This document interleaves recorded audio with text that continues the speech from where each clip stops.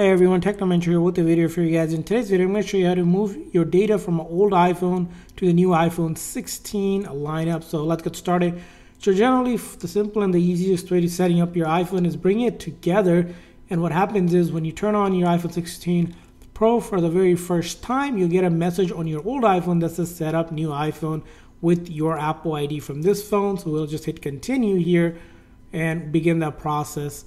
And you can also select your language here. Now, what will happen is it'll ask you to use the camera on your old iPhone and then point it to the new iPhone just like that where this thing is at.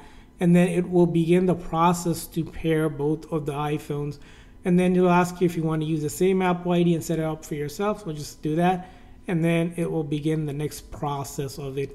Now, this is going to be the quickest way to move your data over, but we will also show you different options that you have if this isn't working for you. So as you can see here, right now it's moving the data. It's gonna ask you to do a software update, but you can always do that later. I'll just continue for later. Data and privacy, and then you can set up your Face ID if you haven't set that up. And then you're gonna wanna enter a passcode here so I'm going to enter a passcode. And if you already have one on the other phone, you may not need to do that. I didn't have a passcode, so it's just asking me to do uh, the Face ID and password. Now there's two main ways here you can do it. You can do it by downloading it from your iCloud, or you can transfer your phone directly. So you have two of the methods available here. So I'm going to do it directly from my iPhone here. So go ahead and click on that and see if I can get it to set up like this. So as you can see, you're setting up the account which is a good indicator. And then I need to enter my Apple ID password here, so I'm just going to go ahead and do that now. So enter my Apple password, so I'm going to hit done here. So it can go ahead and sign in and verify that that is my account and it's signing me in. And then I'll hit agree here and then I'll let it start signing in. And what it is going to do is pretty much transfer all the data from that old iPhone to the new iPhone. So we just have to be patient. Sometimes this process does take some time, like it says, somewhere between five to 10 minutes, uh, depending on how much data you have on your old iPhone. So if you have a lot of data, it's going to take you a longer time. If you don't have much data, it will take you, of course, less time. And right here, as you can see here, it'll give you idea of the things that will be moved. Things like apps and data from the other phone, settings, anything in my wallet, if you had anything, any connections. So you can do all of that. I'll hit OK here and then I'll hit continue. You can always customize it and they can set up the location and such. So let's go ahead and set that up. Up to you in the silent mode. It just gives you idea. Action button, which is a new button or at least the button that's available here. You can customize it. I'm just going to choose it to leave it as is. Camera control, that's the new control here that's available on the new iPhone. So hit continue here.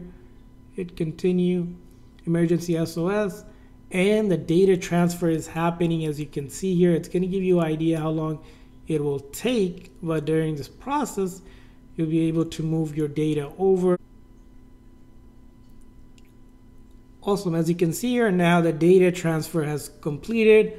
It's reloading this iPhone that went completely black, which is fine. We just wait for it to reboot again and it will go ahead and restore everything on this phone. So hit continue here.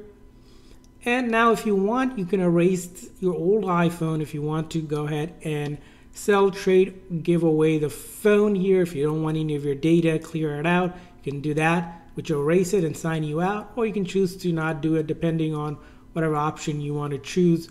So as you can see here, this one is done now. I still have my old data here because I didn't delete it, but you could have deleted it, of course, if you wanted to.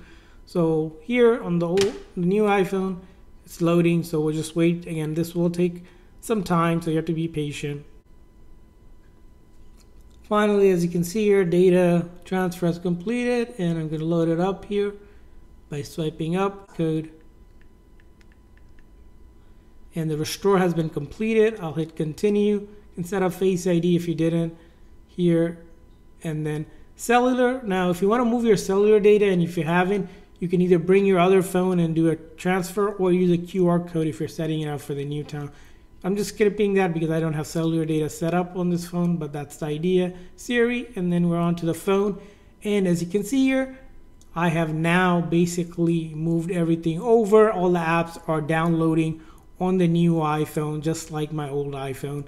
And same with photos, videos, everything will be loaded onto my phone. It does take some time, so if you don't see it right away, just wait uh, as it completes the process.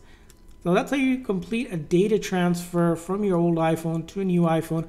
I hope this video was helpful. If so, please consider a like and subscribe button for more tips and tricks for iPhone and other iOS devices. We'll see you guys next time.